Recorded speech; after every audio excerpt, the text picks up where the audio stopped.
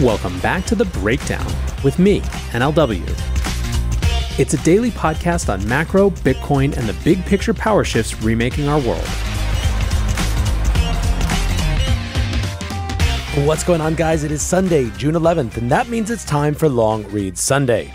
Before we get into that, a quick note. If you are enjoying the breakdown, please subscribe to it, give it a rating, give it a review, or if you want to dive deeper into the conversation, come join us on the Breakers Discord. You can find a link in the show notes or go to bit.ly slash breakdownpod. Well, as you've heard for the last couple of shows, I have been on the midst of losing my voice for quite some time. And so today we are taking a page from the AI breakdown, which, by the way, if you haven't tried out yet, you should check out. And we are doing a long read Sunday read by AI. So you're going to hear my voice sort of. This is a voice clone that I did of myself using play.ht. I'm using it to read two pieces today, both themed around, of course, the themes of this week the SEC and the legal battles that we now find ourselves facing. The first piece comes from Coindesk's David Z. Morris and is called The New Crypto Bill Gary Gensler Doesn't Want You to Know About. When Gary Gensler's Securities and Exchange Commission, SEC, this week filed securities charges against America's biggest cryptocurrency exchange, they were premised on a single core idea that securities law already includes the necessary tools to regulate cryptocurrency assets and marketplaces. Gensler, an appointee of the Biden administration, has consistently repeated that crypto doesn't need new rules. But legislators from both the House and Senate, and belonging to both political parties, seem to disagree. A series of recent bills show the legislative branch actively engaged in lawmaking around crypto.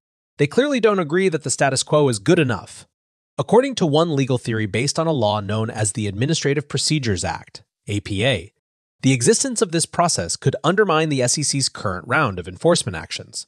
On June 2, just days before the SEC actions, House Financial Services Chair Patrick McHenry and Agriculture Committee Chair Glenn Thompson released a collaborative draft bill called the Digital Asset Market Structure and Investor Protection Act.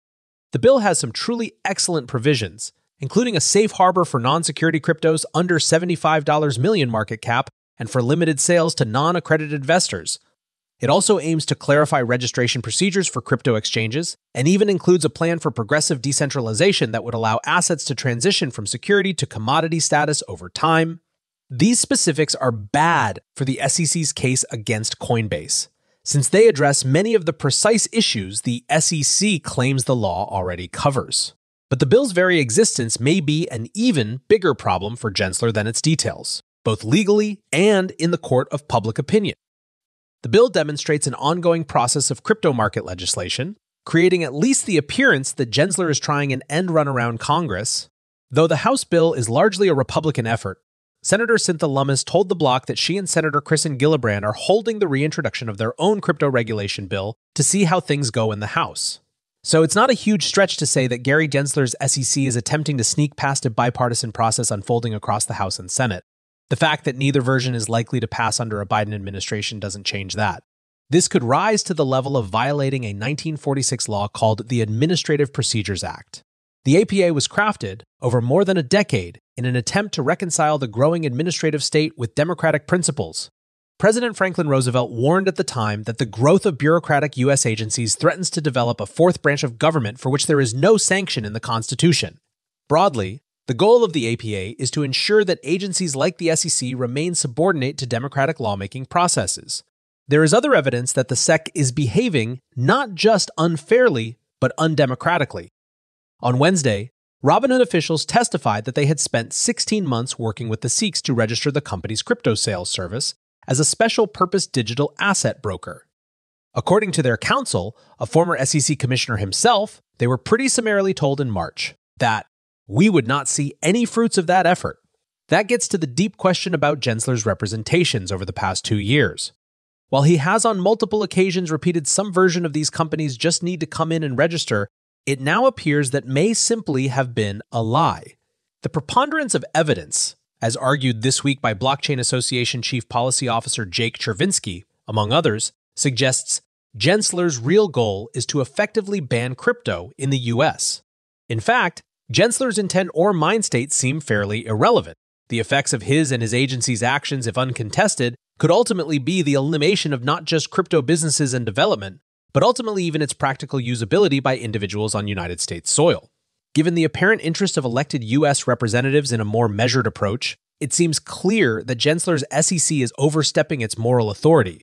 It will be up to the courts to determine the legalities. All right, back to non AI Nathaniel here. We are going next to another piece from Coindesk, this time from Michael Casey. This one is called The SEC Has Started an All In Political Battle Over Crypto.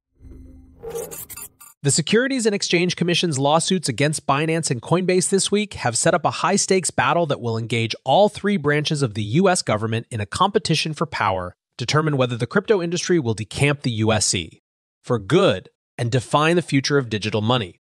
The SEC's aggressive actions against Binance, the world's biggest crypto exchange, and Coinbase, the biggest in the US, are a big flex, one that reveals the agency's extraordinary discretionary power in saying we don't need more digital currency in interviews following the announcements, SEC Chairman Gary Gensler suggested he truly does want to destroy the crypto industry.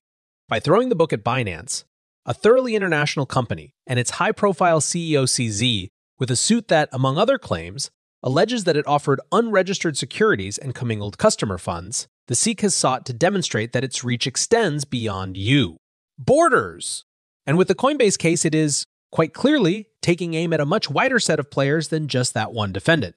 The case is premised on the notion that most of the securities traded on the San Francisco based exchange are unregistered securities, creating legal concerns for the likes of Algorand, Polygon, and Solana.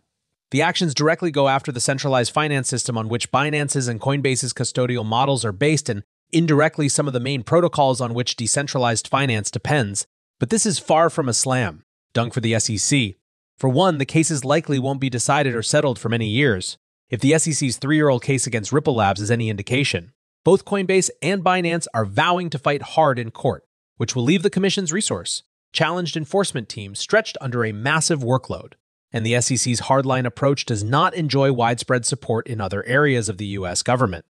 The timing of these actions being what it is, the agency is almost willing other bases of power to come after it. To start with, Congress, a draft bill that will soon come before the House sets parameters for how to classify digital assets and circumscribes the SEC's powers of interpretation of crypto within existing securities law, curtailing its capacity to launch these kinds of enforcement actions. It is co sponsored by Rep. Patrick McHenry, the chair of the House Financial Services Committee, who has been critical of Gensler's aggressive actions against the crypto industry, and Rep. Glenn Thompson, the chair of the Agriculture Committee, which has jurisdiction over the Commodities Futures Trading Commission, the other big agency vying for a greater say in crypto regulation. Whether the McHenry Thompson bill gets through a Democrat controlled Senate and eventually makes it into law is doubtful within the current electoral term, but the proposed legislation makes for a very important talking point as the election season ramps up. That brings us to a second branch of government the executive, within whose authority the SEC and other such agencies fall. These lawsuits will land into a presidential campaign in which the future of crypto and digital assets will, like never before, be part of the public debate. Already, expressions of support for crypto have come from three presidential hopefuls Robert F. Kennedy Jr., who is challenging Biden for the Democratic nomination, Florida Governor Ron DeSantis, seen as the main challenger to former president and third go round candidate Donald Trump, and biotech entrepreneur Vivek Ramaswamy, another Republican contender. Trump until now, the Republican frontrunner has himself used non fungible tokens as fundraising vehicles, though his pronouncements on crypto have been all over the shop. Whether or not Biden retains the presidency, this level of attention on the industry will help shape the politics of how a future SEC deals with these cases. Then there's the Supreme Court, which last month scaled back the Environmental Protection Agency's power to enforce rules on landowners based on the Clean Water Act. What does this have to do with the SEC and crypto? Conservatives who now control the court see the EPA as just the first regulatory agency whose authority needs to be clipped. A more sweeping attack on executive agencies is coming, and the SEC is likely to be a target. In other words, a perfect political storm is brewing that makes the outcome of this current war on crypto hard to predict. The multi front nature of this fight also raises the stakes in that outcome, even if we have to wait years to see it. If the Gensler strategy of all out attack wins, it could be the de facto death knell for crypto in the US. Developers will leave en masse to set up shop in Dubai, or Bermuda, or Singapore, or France, or in any number of jurisdictions that are proactively developing regulatory guardrails for crypto innovation to occur. This is not to say certain bank licensed stablecoin ideas or real world asset tokenization strategies led by existing regulated institutions and public companies won't be allowed or even encouraged in the USS. But since these would struggle to interface with the permissionless architecture of prohibited crypto blockchains, an outdated US capital market might struggle to compete with the new models of programmable money and decentralized governance being fostered elsewhere. Alternatively, the passage of time and the mounting counteroffensive from crypto supporters in Congress and in the courts could quash this wave of attacks. But to what end? If such a victory just further entrenches politicization and partisanship around this issue, the bigger, most important battle for mainstream acceptance and adoption will still need to be fought. What's needed, for all of our peace of mind, is for the crypto topic to transcend politics. It would be nice to think that this would happen organically because, after all, this is a technology. But sadly, it's going to be up to the crypto community to engineer. There should be a focus on education efforts, which show real use cases and demonstrate the benefits to humanity from this industry's approach to decentralized value exchange and data.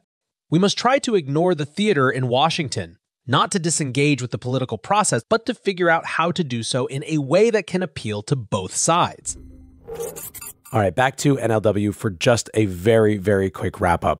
There are two things that I want to pull out from both of these pieces because I think they're very good companions to one another.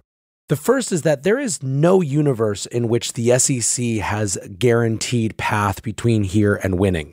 In fact, there are many people who feel that part of the calculus is to just tie the industry up in court for so long and create such intense pressure that it has its impact in other ways. Given that we've seen people abandoning Binance US this week, it's not hard to see how that would play out. It's a very public version of Operation Chokepoint. But to the extent that we start accumulating political wins, it could mitigate the impact that these actions actually have. Second, on that front, when it comes to the question of Bitcoin and crypto and the culture war, one optimistic thing here is that there is an emergent strand that you see in the campaigns of people like Bobby Kennedy and a couple of these other challengers that aren't positioning so much as right versus left, but as entrenched ways of thinking versus open ways of thinking. Now, one can be skeptical or even cynical about the vessels for these particular claims, but Bitcoin and crypto seem to be a part of the story for all sides. I don't think it's going to be as easy as the SEC and Gary Gensler and Elizabeth Warren hope to make this a clear partisan issue. It's just too dynamic, and the set of people who participate are too diverse for that to really work. So, despite everything, despite two lawsuits this week, I remain as bullish as ever, as convinced as ever, and frankly as unconcerned as ever, even if in the short term it can be a huge pain in the butt. Anyways, guys, that is it for today's Long Read Sunday. I appreciate you listening as always. Until tomorrow, be safe and take care of each other. Peace.